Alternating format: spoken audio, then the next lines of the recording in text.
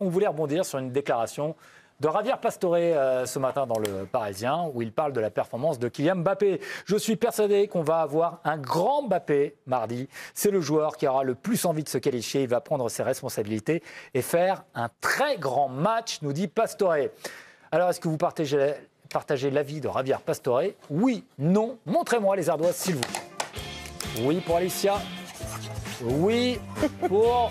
Pas sûr pour Vincent. C'est un non. on va le prendre. Qu'est-ce qu'il Montre pas ça. Montre pas ça. la pub. Of course. Ah, d'accord. Alors, ça valait bien. C'était bien. Of course, ouais. Ah, bah oui, oui. Ça on a perdu deux minutes pour ça. Oui, ici. Oui, ici.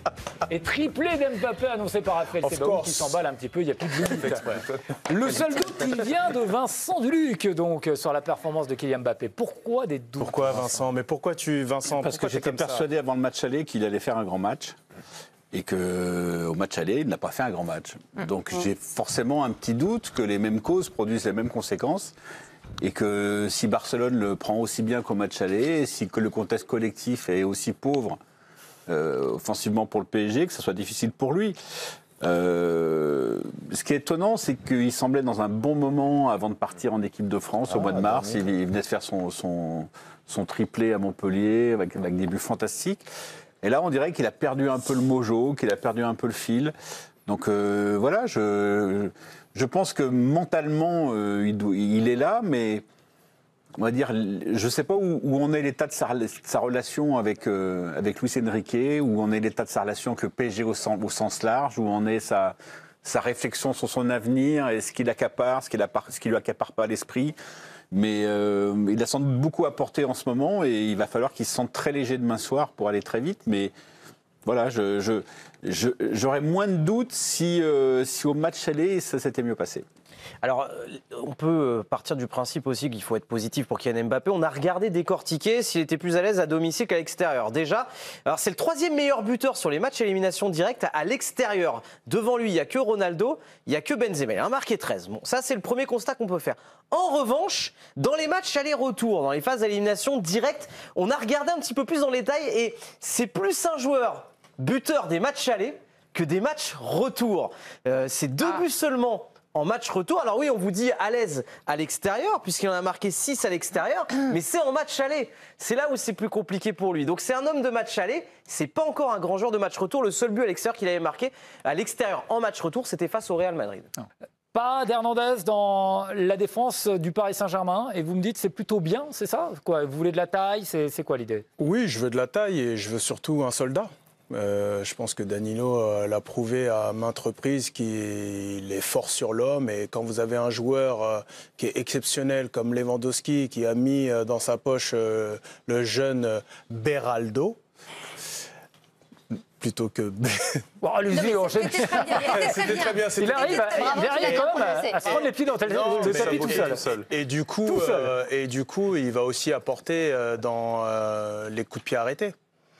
Donc, euh... Donc, bon choix. Ouais, bon choix. Bon on valide la, bon la compo. Après, veut réagir encore la... Non, mais c'est, la, la, compo qu'on voit là, elle est parfaite pour une équipe qui joue bas et qui joue la transition. Or, euh, toutes les informations qui nous remontent, c'est que ça ne va pas forcément être le cas. Donc toujours la même. Il a redit en conf, possession et pressing. Toujours la même. Oui, bah, entre ce qu'il dit et ce qu'il fait, parfois, c'est pas la même chose. Toujours la même interrogation sur. Euh, bah, je n'ai pas vraiment d'explication. Moi, si je joue, je joue plutôt avec, euh, avec euh, Ramos. Je joue plutôt avec un milieu offensif plutôt qu'un milieu euh, défensif comme. enfin, plutôt défensif, je dirais même neutre, comme Ruiz. J'essaye de créer quelque chose qui, qui puisse soutenir un peu Vitinha, puisqu'il va être la rampe de lancement basse. il va falloir quand même un intermédiaire entre lui et, si tu joues haut, entre lui et Barcola Mbappé.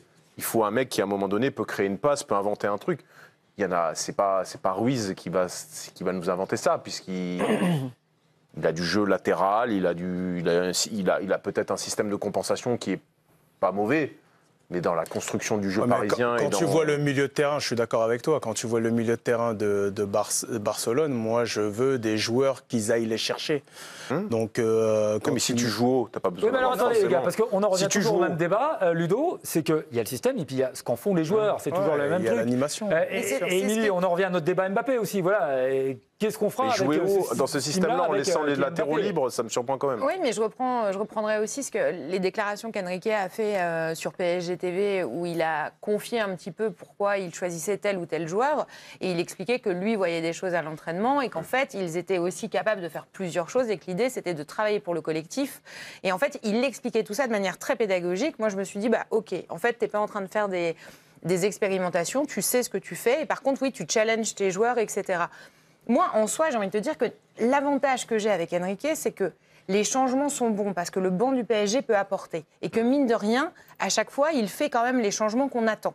Il voit plus ou moins la même chose que nous. Donc en fait, je ne suis pas inquiète, moi, et je, et je Ok. rejoins la déclaration de Pastore sur le fait que, là, je reprends une casquette d'individualiste. Pour moi, Mbappé, pendant très longtemps, a été individualiste, c'est-à-dire que le collectif pouvait faire ce qu'il voulait. Lui, il était sur ses stats et il fallait aller plus haut. Bah, finalement, c'est ce Mbappé-là qui me manque aujourd'hui, où j'ai envie de lui dire, bah, vas-y, et même fais-le pour toi, parce qu'effectivement, comme tu disais, Ludo, tout à l'heure, il faut aussi bien terminer cette histoire et que je pense que le chapitre de demain est très important pour l'histoire de. Ouais, C'est ça aussi, euh, Bernard. Voilà. Demain, euh, ça va être un rendez-vous très important pour l'histoire de Kylian Mbappé avec le Paris Saint-Germain. Et il est Non, mais dans l'obligation. Non? Ju- juste, juste pour revenir deux secondes, comment on peut nous expliquer que tu choisis les joueurs sur les entraînements Voilà, que tu vois et. Non, mais c'est quand même important. C'est-à-dire je te que- jure, il est- oui, mais je regarde le truc. Je, je regarde. Tu joues tous les trois jours. Donc, à quel moment tu vois les joueurs Et euh, Lee, sur le dernier match contre Clermont, il ne joue pas. Comment t'expliques que tu le mettes dans un match du Barça, dans un match juste avant où il n'a pas eu le temps de se préparer, et où sur les entraînements, Mais lui, tu fais que fait tu le fais que de chacun des tu fais que du repos. et il explique. Et il explique Bah, sur tous pour les moi, joueurs. pas convaincant. Alors on enchaîne juste, on était sur Kylian Mbappé et euh, Bernard, je parlais du, du rendez-vous important parce qu'il a rendez-vous avec son histoire, tout simplement avec le Paris Saint-Germain demain. C'est c'est ça son rendez-vous. Oui, rendez-vous avec l'histoire et Kylian est un grand joueur. euh, et euh, demain, il y a un gros rendez-vous et un gros match pour euh, le, Paris Saint-Germain et l'histoire du Paris Saint-Germain. Certes, à l'aller, il a été inexistant comme bien d'autres, mais demain, il se doit d'être performant et, je dirais autour de lui également. Du banc jusqu'au coach, de la défense, du gardien à l'attaque aussi. Donc tout le monde doit être bon demain. Oui, bah là, vous rejoignez un peu aussi les doutes que peut avoir Vincent Duluc euh, dans, dans cette histoire. Voilà. Non, vous n'avez aucun doute sur la performance de Kylian Mbappé dans... Non, parce que c'est s'il est celui qu'il prétend être, il peut pas passer à côté de ce match-là. C'est impossible. Oui, mais Moi, le match Bah, aller, surtout s'il a c'est valable re-regardé sa prestation il de l'année. il est, il est dans son storytelling à l'américaine depuis maintenant. Il nous raconte qu'il veut laisser une trace, que là, Mm. Sa trace au Paris Saint-Germain va aussi beaucoup dépendre de cette double Oui, confrontation. mais aujourd'hui, Ludo, il vous Elle a pas montré des- une petite faille humaine aussi quand même. Hum Oui, mais Elle dépend aussi moi, des moi, moi j'ai aucun, j'ai aucun mal à- à- sur le match aller à dire qu'il n'est pas véritablement mis dans les, ma- les meilleures conditions et qu'il n'est pas véritablement soutenu. Néanmoins, je l'ai trouvé planqué. Oui. Je l'ai trouvé planqué. Il aurait pu à un moment donné essayer de prendre le jeu à son compte, redescendre plus C'est bas. ce que vous dites, Vincent. Il n'est peut-être pas dans les meilleures conditions psychologiques. Montrer, montrer au moins. Oui, mais là, il peut pas se rater, en fait. Si tu veux euh, que ta marque, elle, ça- la trace, elle y est au Paris Saint-Germain, quoi qu'il arrive.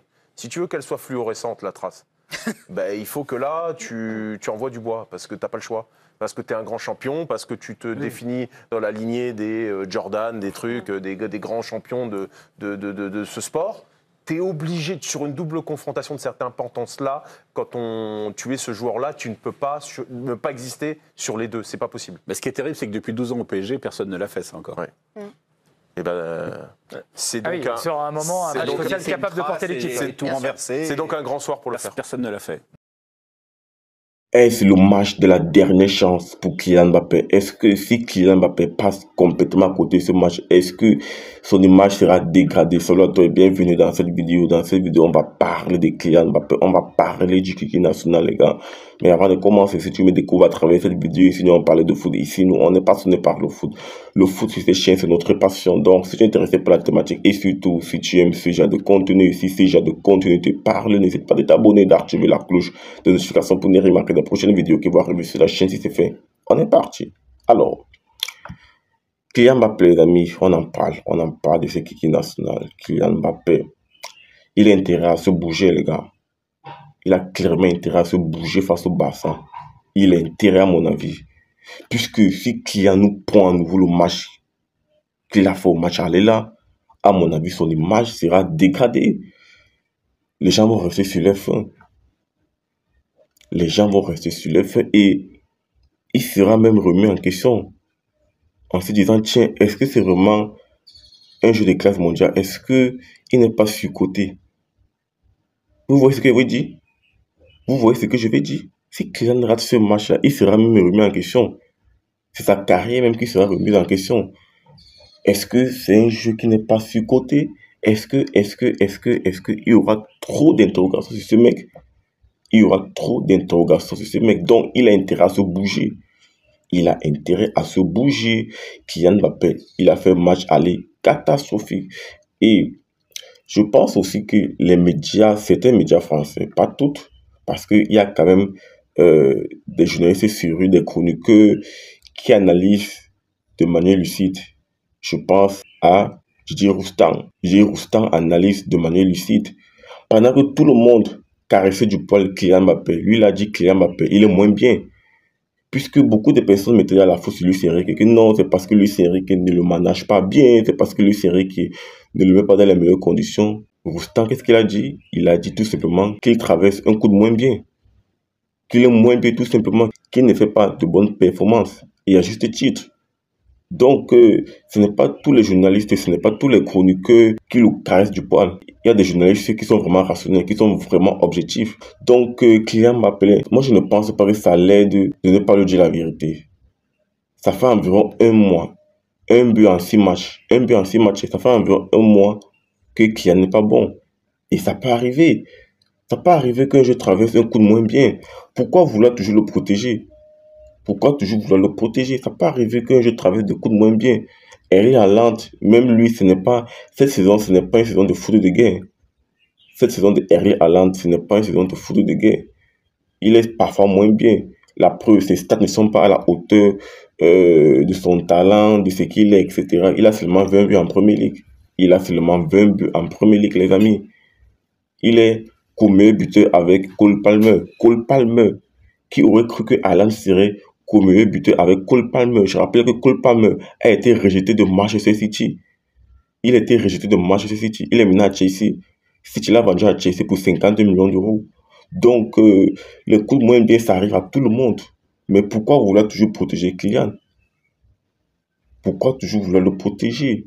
Ça ne l'aide pas ça ne l'aide pas. Donc, ce match face au Barça, ça sera le moment où jamais pour Kylian de vraiment se racheter.